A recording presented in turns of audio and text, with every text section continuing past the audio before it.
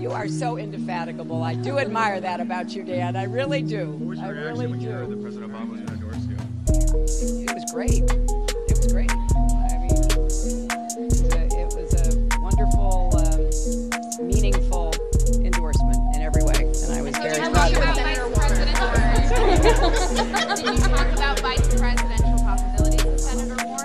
Warren? You guys have got to try the cold chai. I've had it. It is delicious?